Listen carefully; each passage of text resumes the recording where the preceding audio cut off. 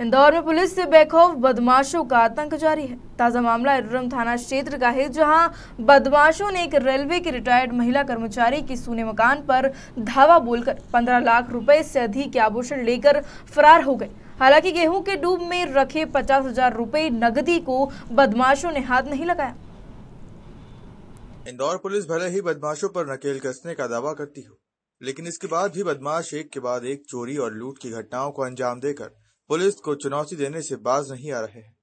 चोरी की घटना का ताज़ा मामला एरोडन थाना क्षेत्र के राधा कृष्ण नगर का है, जहाँ रेलवे से सेवानिवृत्त महिला कर्मचारी के सूने मकान पर बदमाशों ने धावा बोल दिया। आरोपी ताला तोड़कर घर के अंदर घुसे और ड्रम के अंदर गेहूँ में छुपाकर रखे सोने चांदी के आभूषण लेकर फरार हो गए। हालाँकि बदमाशों ने इस दौरान ड्रम में रखे पचास हज़ार रूपए नकदी को हाथ नहीं लगाया। फरियादी विजय कौशल ने बताया कि चोरी गए आभूषणों की कीमत पंद्रह लाख रुपए से भी ज़्यादा है।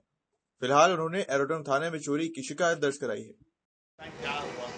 हुआ ये था कि रात में दादी घर पर थे, दादी घर पर आए, वो घर पे ताला लगा हुआ था, कोई भी नहीं था। तो उस वक्त हुआ ये, और सुबह में आया तो हमें पता चला कि ताला टूटा हुआ था। और वो वाले ताला भी टूटा हुआ था, जिसमें गेहूँ रखे हैं। हमने देखे तो गेहूँ में सब जेवर गायब गायब थे, और ताले भी गायब थे। और बाकी जो सामान था, सब इसी की वैसी था, व्यवस्थित। हमने थैली में करके रखे थे टंकी के अंदर थैली में रखे थे। उस पर गेहूँ रखे थे। हाँ हाँ। कितने का लगभग सोना हो सकता है? पंद्रह सोलह लाख का। पंद्रह से सोलह लाख तक का जेवर है। नगद पैसे वगैरह नगद रखे थे लेकिन नगद वैसे के वैसे ही है बस सिर्फ़ जेवर गायब हुए। पचास हज़ार।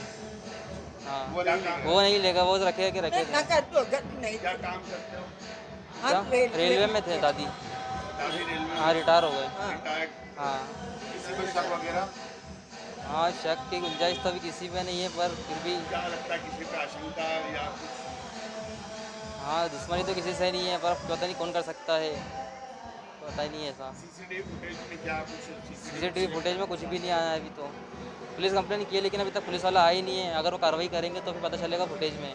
घर पे कौन था जब ये चोरी की घटना कोई भी नहीं था घर पर। बस एक किराएदार उन थे। कुछ? घर पर थे सब घर पर थे। हाँ वाले। आपका नाम बता दीजिए। विजय कौशल।